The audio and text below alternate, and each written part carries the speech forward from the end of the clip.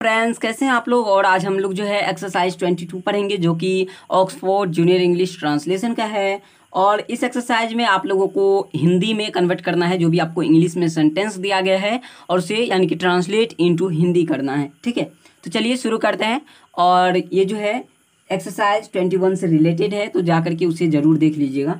यहाँ पर कि he shall be ready he shall be ready अब देखिए नॉर्मली अगर हम देखें तो ही के साथ हम विल का प्रयोग करते हैं। बट यहाँ पर सेल का प्रयोग किया गया है। इसका मतलब है कि यानी कि अवश्य लगा हुआ है। क्या लिखेंगे? पहले हमारा जो भी सब्जेक्ट है, वो लिखना है। क्या ही का क्या होगा? वह होगा। और अवश्य लगाना है, वह। ठीक है, अवश्य। अब जो हमारा ऑब्जेक्ट है, वो लिखना है। क्या लिखेंगे? तैयार। अब गागेगी लगता है सेल भी या विल भी लगा हुआ है तो इसका मतलब है गागेगी, यानी कि वह अवश्य तैयार रहेगा, ठीक? रहेगा। तो देखा आपने? चलिए आगे देखते हैं। आगे कि they shall be present they के साथ भी हम नॉर्मली देखें तो विल लगता है बट यहाँ पर सेल लगा हुआ है, इसका मतलब यहाँ पर भी अवश्य का यूज़ हुआ है। क्या लिखेंगे? दे, यानी कि वे लोग। वे लोग अवश्य। उसके बाद हम देखेंगे ऑब्जेक्ट हमारा क्या है प्रेजेंट यानी कि उपस्थित। अब वे लोग अवश्य उपस्थित रहेंगे डायरेक्ट है, रहेंगे। चलिए। आगे देखते हैं। आगे है कि you shall be in loss you shall be in loss यानी कि यू पहले तो यानी कि तुम। ठीक है? तुम। अब देखिए, हमने लिखा यू का तुम, ठीक है? तुम सेल लगा हुआ है, यानी कि यू के साथ भी अगर नॉर्मली देखें तो विल लगता है बट यहाँ पर सेल लगा हुआ है तो इसके साथ भी हम अवश्य लगाएँगे। लिखेंगे तुम अवश्य। अब देखिए इन लॉस घाटे में, तुम अवश्य घाटे में रहोगे। सिंपल है। चलिए, आगे है कि यू सैल बी ट्रूबल्ड ठीक है? यू यानी कि तुम। और यू के साथ यहाँ पर भी देखिए सेल लगा हुआ यानी कि अवश्य।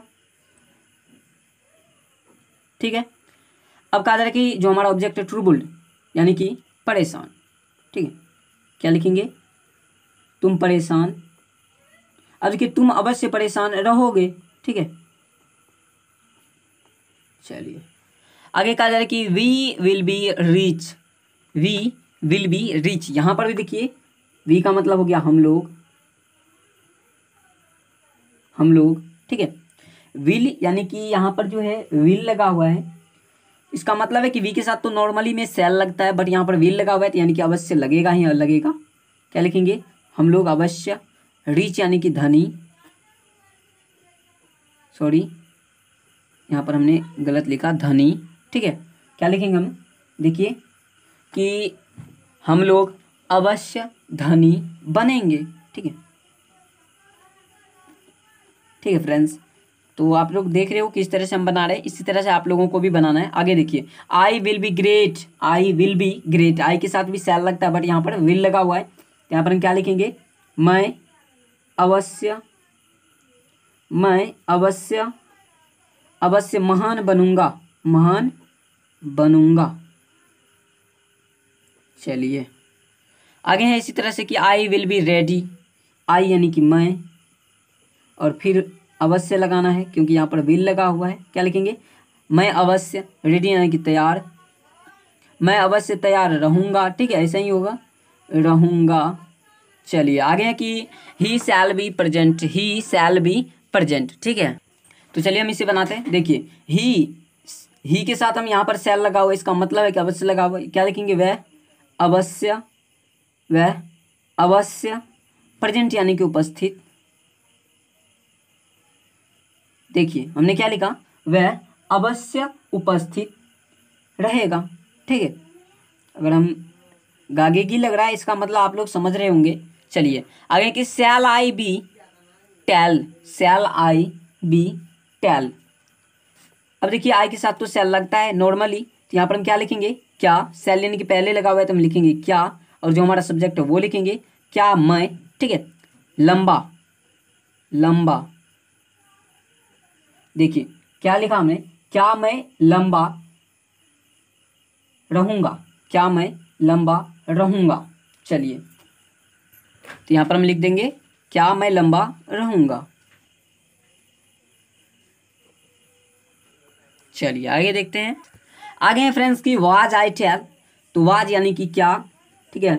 और क्या मैं लंबा, ठीक है, टेल मतलब लंबा और था। वाज लगा हुआ इसका मतलब है था, ठीक है?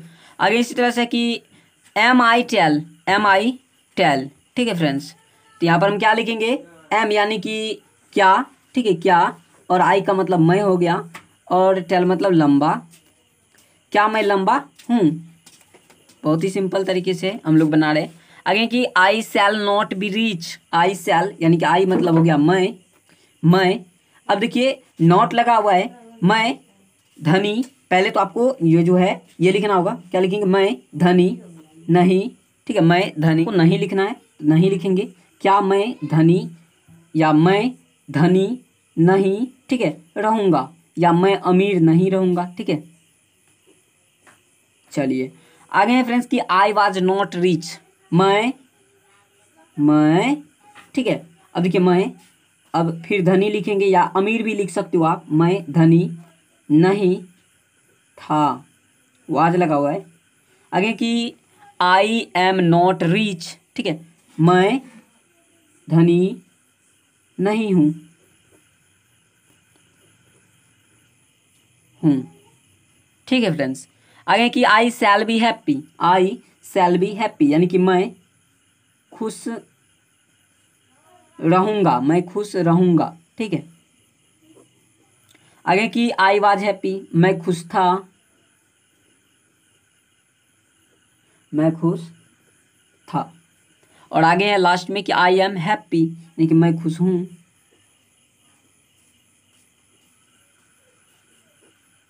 हूँ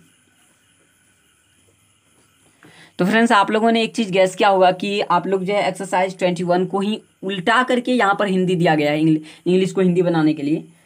तो आप लोगों को यह वीडियो कैसा लगा? अगर आपको पढ़ने में मज़ा आया तो इस वीडियो को लाइक कीजिए और हो सके तो हमारे चैनल को सब्सक्राइब करके बगल में आने वाले घंटे के आइकन को प्रेस कर लीजिएगा, जिससे कि हमारी जितनी भी आपको नई वीडियो मिलेगी, वो सभी का नोटिफिकेशन आपको सबसे पहले मिलेगा और आप लोग उस वीडियो को देख पाएँगे। चलिए, मिलते हैं अगले वीडियो में।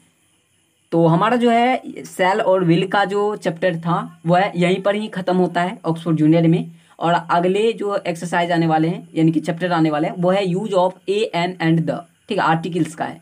तो आप लोग वो पढ़ना। तो अगले वीडियो ज़रूर देखना। थैंक यू सो मच यहाँ तक वीडियो देखने के लिए। धन्यवाद।